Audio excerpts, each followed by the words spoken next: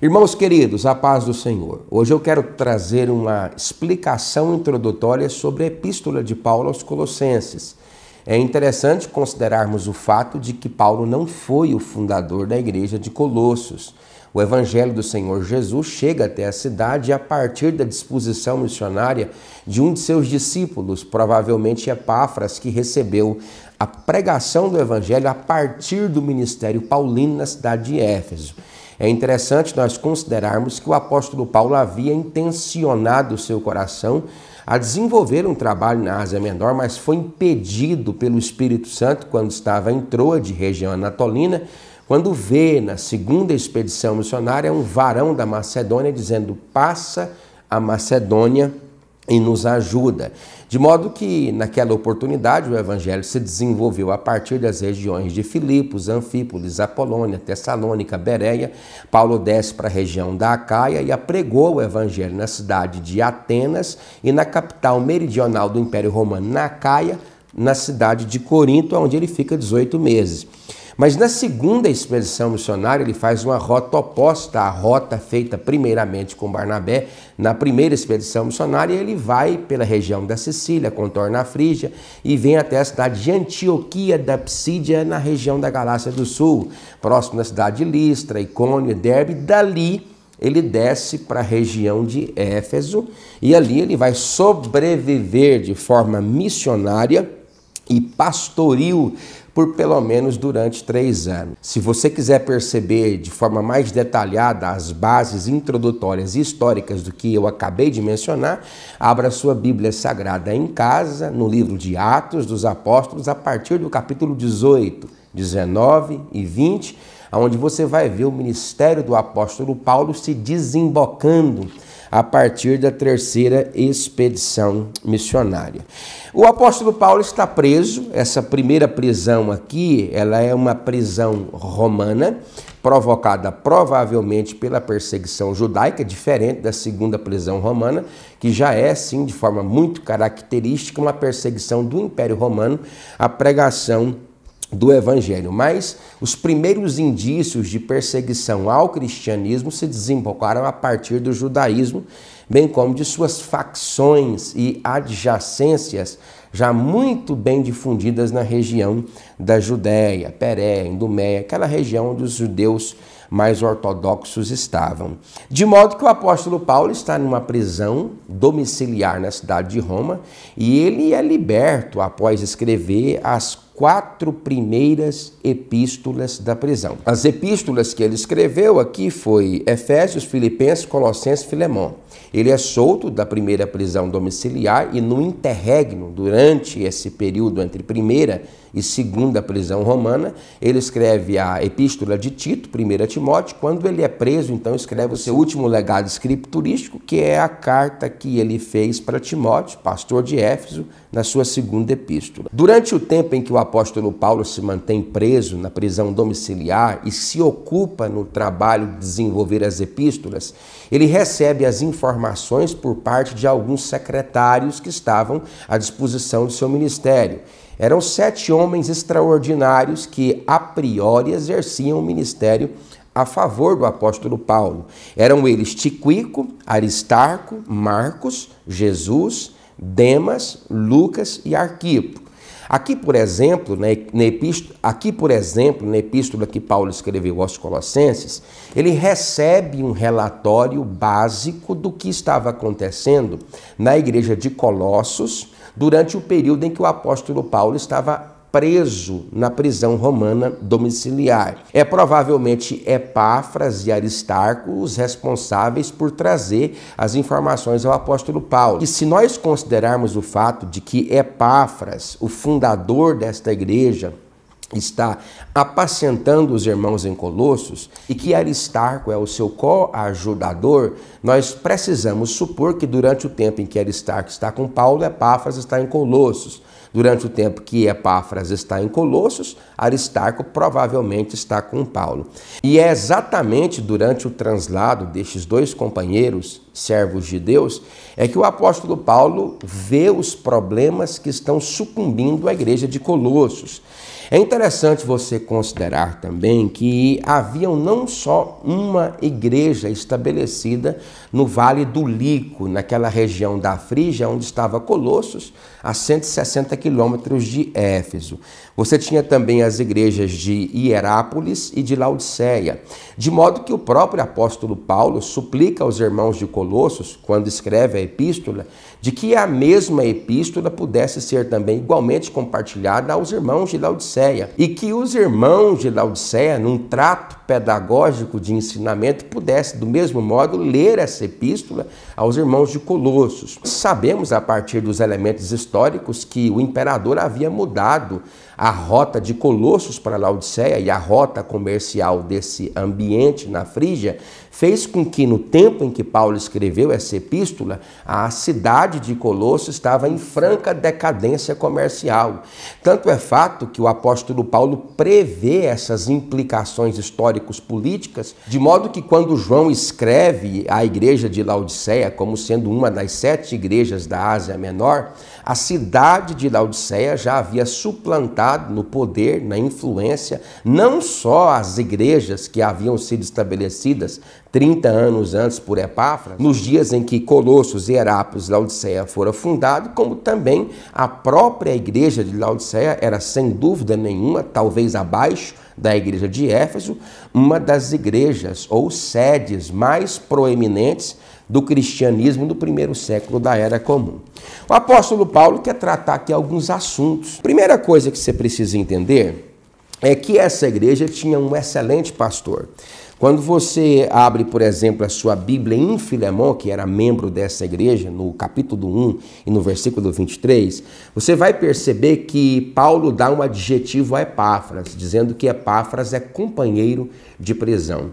É interessante resgatar a figura símile da expressão companheiro no grego, que reflete exatamente a ideia de um companheiro de jugo. E companheiro de jugo, terminologicamente falando, à luz do Novo Testamento, é a ideia que se tem de reproduzir dois bois carregando uma mesma carga. É aquela cangaia que se coloca aqui no Brasil no lombo do boi na expectativa de que ele possa desenvolver o arado. Naquela ocasião, um companheiro de jugo, como Paulo coloca aqui Epáfras, é o boi ao lado dele, ou seja, aquele que carrega a carga as dificuldades, os afazeres. Ele chega a dizer aqui que Epáfras é um companheiro, inclusive companheiro na prisão. É difícil, mas existem pessoas assim. Uma outra característica de Epáfras é que ele era doméstico, ele era da própria cidade de Colossos e provavelmente natural dali. Está lá em Colossenses capítulo 4, versículo 12, quando Paulo falando sobre Epáfras, o pastor da cidade, ele diz: Epáfras que é vosso. Uma outra característica desse obreiro Epáfras está lá em Colossenses, capítulo 1, versículo 7. Lá vai dizer que Epáfras é fiel, fiel com o servo.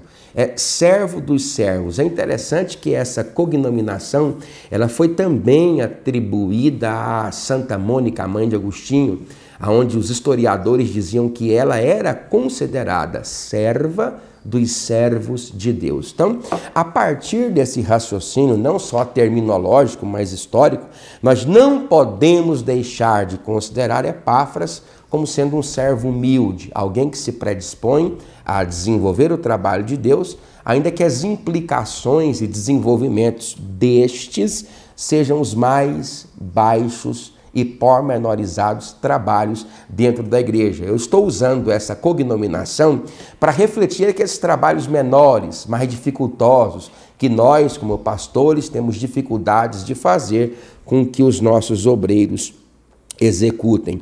Uma outra característica que você precisa é, compreender é qual é a voga, o fulcro, o tema, a temática abordada na epístola.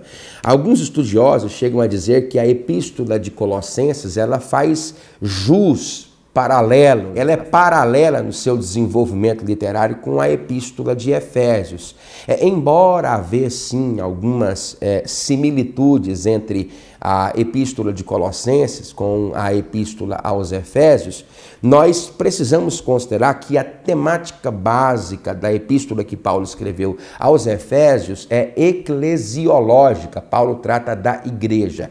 Aqui em Colossenses, não, ele trata da doutrina de Cristo e da suficiência do sacrifício de Cristo frente aos diversos desafios que estavam sucumbindo à igreja de Colossos no tempo em que essa epístola foi escrita, por volta do ano 61 do primeiro século da era cristã. Bom, o que que Paulo quer dizer quando vai estabelecer pontos fundamentais, cruciais sobre a natureza de Cristo, bem como a suficiência de sua obra? Bom, ele quer refutar quatro grandes problemas que haviam na igreja de Colossos e que foi por Epáfras compartilhado por Paulo na primeira prisão domiciliar em Roma. Bom, o primeiro problema era o problema do sincretismo religioso. O sincretismo religioso, ele, ele não é só um problema da igreja de Colossos. Esse problema de miscigenação religiosa já havia, já no período intertestamentário, como uma figura preponderante para o conhecimento judaico que era chamado de Filon, Filon de Alexandria.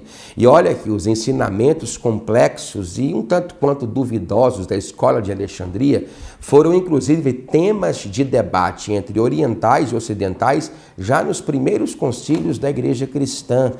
Tanto é fato que Philon tinha por base do seu raciocínio veterotestamentário algumas lógicas que ele adotava a partir das escolas filosóficas, principalmente como sendo ele um dos amantes do raciocínio de Platão. Então já havia uma característica teológica eivada de filosofia grega já desde o período intertestamentário. E esse problema chegou até a igreja de Colossos já na esfera do cristianismo cristianismo apregoado pelos apóstolos. Não demorou muito para que se levantassem líderes com características filosóficas inseridas aos poucos dentro da igreja de Cristo, pervertendo e contaminando a pregação sadia, o que tem acontecido hoje nas igrejas atuais, uma prática sincrética, miscigenada, misturada. Olha, tudo que você mistura, quando você mistura qualquer tipo de elemento em outro elemento que não deve receber essa mistura, você tira a primeira coisa, a originalidade. A segunda coisa, você tira o poder. Deixa eu dar um exemplo crasso aqui, só para você entender logo. Pega água, coloca no seu tanque, depois pega uma gasolina ou qualquer outro combustível original.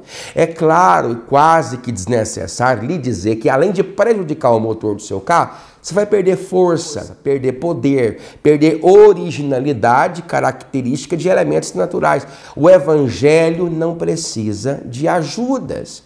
Quando eu adoto qualquer tipo de prática, por exemplo, hoje tem entrado vários aspectos da teologia do coach dentro da igreja e eu até considero importante desenvolvermos alguns tipos e níveis de ensinamentos na igreja que visam aprimorar as nossas habilidades humanas para desenvolver qualquer que seja o serviço e mesmo os serviços da obra de Deus. Agora, substituir a pregação original e autêntica do reino de Deus em por qualquer outro elemento que visa trazer pragmatismo não é necessário. Olha, existem coisas na obra de Deus que dão certo mas que não são corretas. Então é interessante nós tomarmos cuidado com o sincretismo religioso. Um outro problema era o problema do legalismo. Desde a fundação das igrejas da Galácia do Sul, Listra, Icônio, Derbe, Paulo teve dificuldade com alguns discípulos da casa de Tiago que foram para a igreja